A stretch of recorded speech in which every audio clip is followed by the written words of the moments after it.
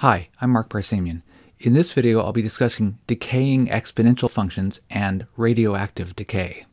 The reading for this video is in general section 3.1, but this topic is not discussed in the reading itself. It's only discussed in the introduction to one of the exercises. The exercises for this video are 43 and 45 from section 3.1. Now I want to start by reviewing. In the video for homework 37, we drew the graphs of 2 to the x, 3 to the x, and e to the x.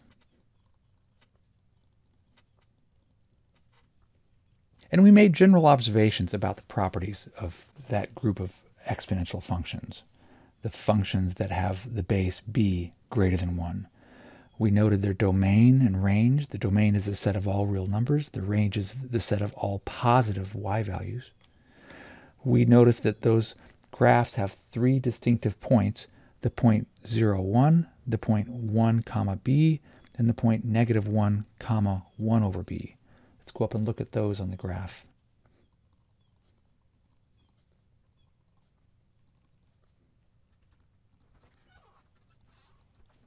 We also notice the end behavior.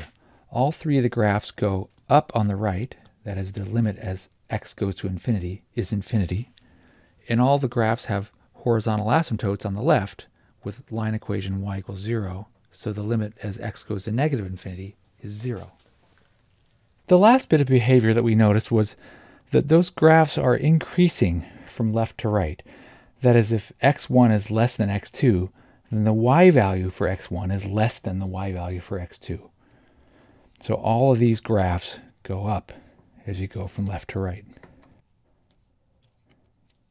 There's another group of exponential functions, the group of exponential functions b to the x where the base is a number between 0 and 1. As a typical example, let's build a table of values for this function, y equals 1 half to the x, and examine its graph. For comparison, we'll also build a table of values for y equals 2 to the x and show its graph. Now that table of values we've already made. Let's make that quickly.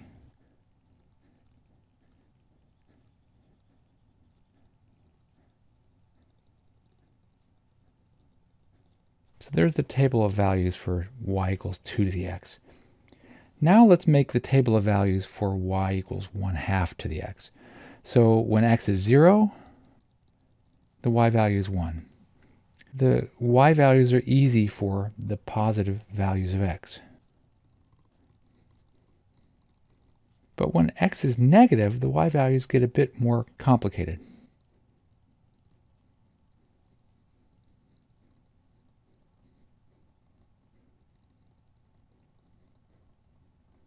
There's our table of values for y equals 1 half to the x.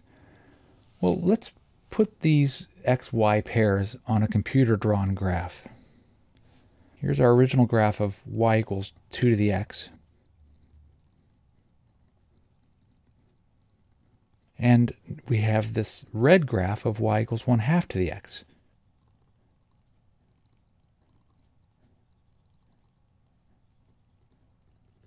Notice some trends here. This graph has as its domain all real numbers because you can recall from our computations, there's never going to be an x value that causes one of these computations to not work. You'll always get a y value. So the domain is all real numbers. The range of the y values on that red graph is all positive y values. Notice a couple of other things. Uh, this graph has famous point 0 comma 1 1 comma 1 half. Hey that's just the base. That's the b. And negative 1 comma 2 well hey the number 2 is 1 over the base 1 over 1 half. So those three famous points. Uh, notice the trend the end behavior on the right is that the graph has a, a horizontal asymptote with line equation y equals 0. On the left end of the red graph, the graph goes up. And then finally notice that this red graph is coming down as you go from left to right, whereas the graph of the blue function is going up as you go from left to right. So we can make a generalization about properties of another group of exponential functions, the ones that have the base b between 0 and 1. Those are called decaying exponentials.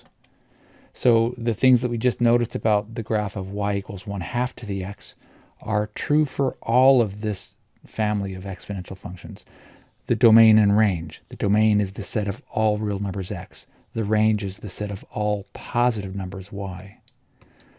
Uh, the three distinctive points, uh, x, y equals 0, comma 1, because b to the 0 is 1. Uh, x, y equals 1, comma b, because b to the 1 is b. And x, y equals negative 1, comma 1 over b, because b to the negative 1 is 1 over b. And then the end behavior, the fact that the graph has a horizontal asymptote on the right with y equals 0 as its line equation tells us this. The limit as x goes to infinity of that function is 0. The graph goes up on the left, so that means the limit as x goes to negative infinity is infinity. And the fact that the graph is decreasing means that we have this. If x1 is less than x2, then y1 is greater than y2. Now, notice that the equation y equals 1 half can be rewritten.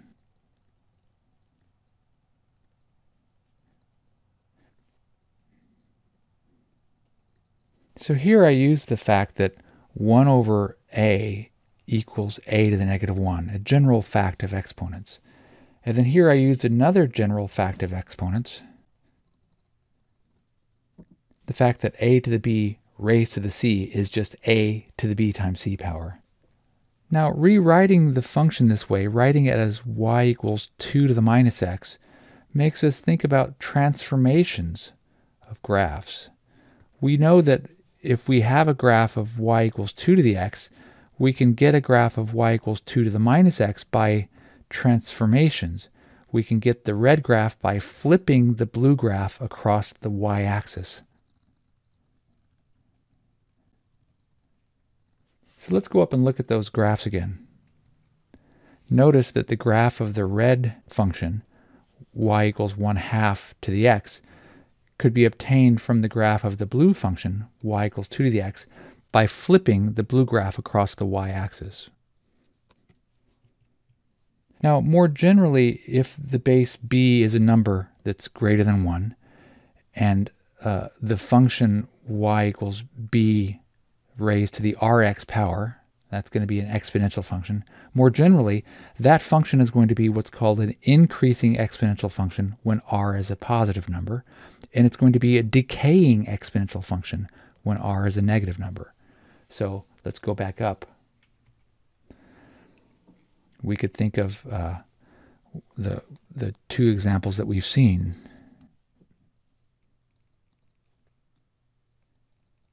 y equals 1 half to the x power is the same as y equals 2 to the minus x power. So that's a decaying exponential function. One place where decaying exponential functions show up is in models for radioactive decay. So the decay of radioactive substances is described by this equation. Q equals Q0 e to the RT, where t is greater than or equal to 0. Now in this equation, the symbol Q subscript 0 is the amount of the substance at time 0. The letter R is what's called the continuous compound rate of decay, and it'll be negative because we're talking about decay, a decaying exponential function. T is the time in years, and the letter Q on the left side of the equation is the amount of the substance at time t. So here's a graph of Q versus T for radioactive de decay. Now notice that when, when time t is zero,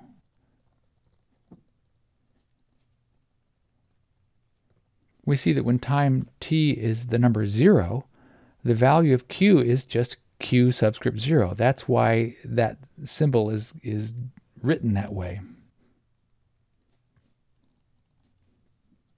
So there's a graph of decaying exponential function, just the right side of it. time greater than or equal to 0. Starts at this point, 0 comma q subscript 0, and decays approaching this asymptote.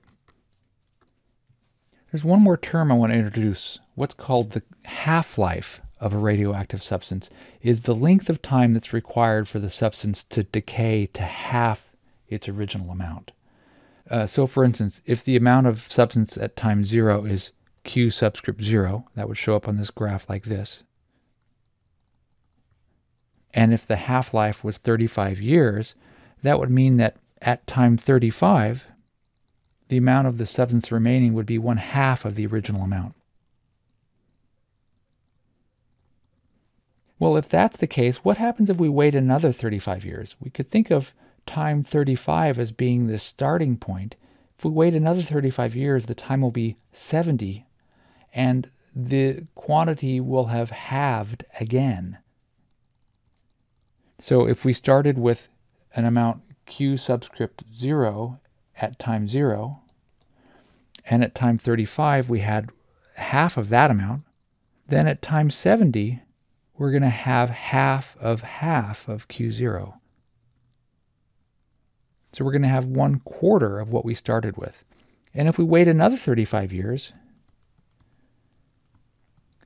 till time equals 105, well then the amount of the, the substance at that time will be one-eighth of what we started with. So that's the idea of half-life. Let's do some examples. In questions about radioactive decay, the questions are often about finding the half-life.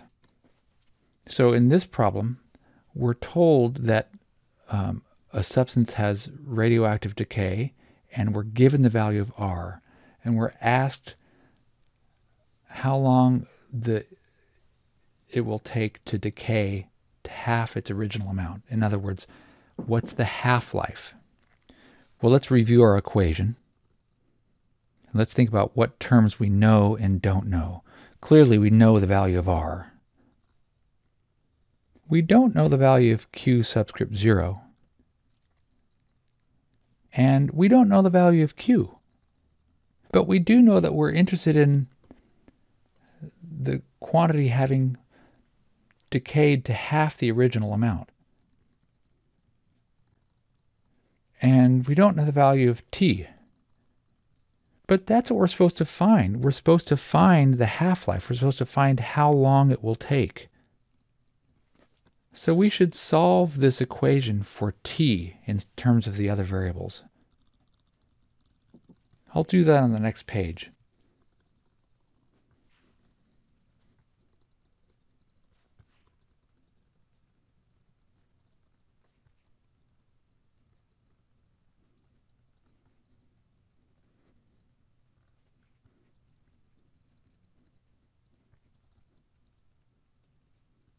So there's our equation solved for t. Now we're going to substitute in the values that we know.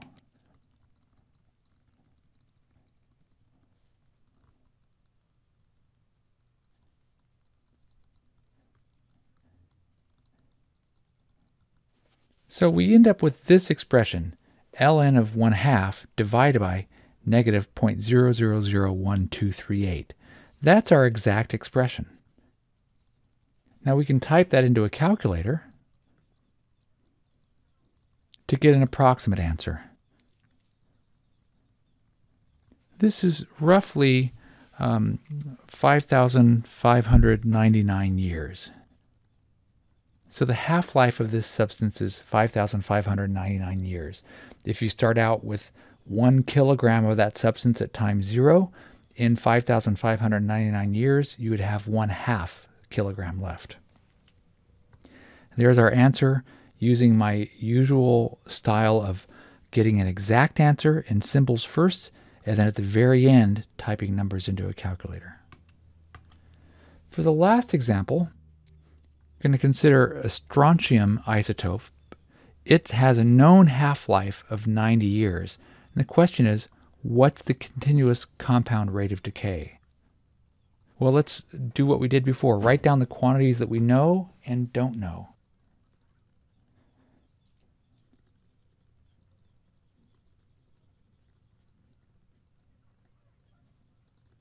So the given information is that the half-life is 90 years. That means that whatever the original starting quantity is, which we don't know, the final quantity will be one half of that at time 90.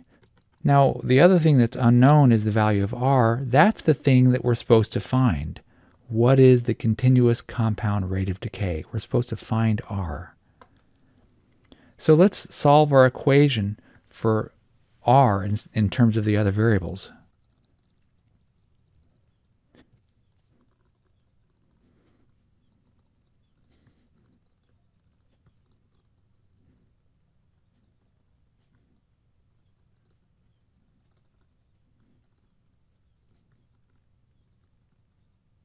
So there's our equation solved for r in terms of the other variables. Notice the steps were very much like the steps where we solved for t. It was just in the very last step that instead of dividing by r to get an equation solved for t, this time we divided by t to get an equation solved for r. Now we'll substitute in our known values.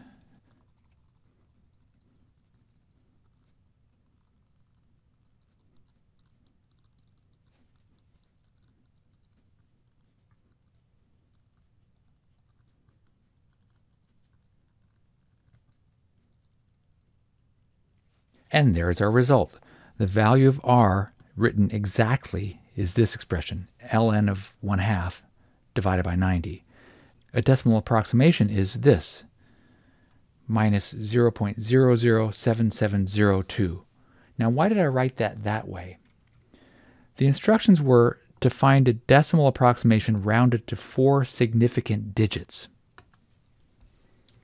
That doesn't mean four decimal places, it means four digits once the digits start being non-zero. So there are my four significant digits. Notice that the value of r is negative because this is a radioactive decay. This is a decaying exponential function. That's the end of the example, and that's the end of the video. Thank you.